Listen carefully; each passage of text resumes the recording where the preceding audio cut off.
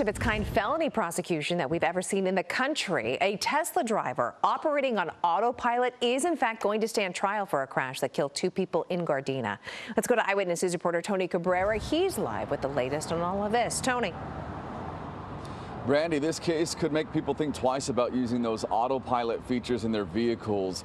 The accident in this case happened two and a half years ago. The driver in that vehicle had it on autopilot, police say. They ran a red light, crashed into another vehicle, killing the two people inside. And now, just this week, a judge says the person behind the wheel must stand trial. This is now believed to be the first felony prosecution in the U.S. against a driver using a partially automated driving system. And it could eventually show that drivers legally cannot rely on technology to control their vehicles.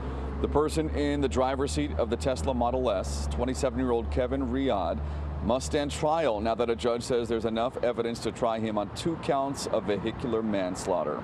Prosecutors say the Tesla's auto steer and traffic aware cruise control were active and that sensors indicated the operator had a hand on the steering wheel but no brakes applied in the minutes before the crash. Tesla has said that autopilot and the full self-driving system cannot drive themselves and that drivers must pay attention and be ready to react. And since 2016, federal investigators have looked into 34 crashes that may have been using the driver assistance systems. Most of those crashes involve Teslas. Hello, I'm Mark Brown. Get more great ABC7 content by clicking the subscribe button for our YouTube channel and download the ABC7 Los Angeles streaming app on Fire TV, Android TV, Apple TV, and Roku to watch on your TV.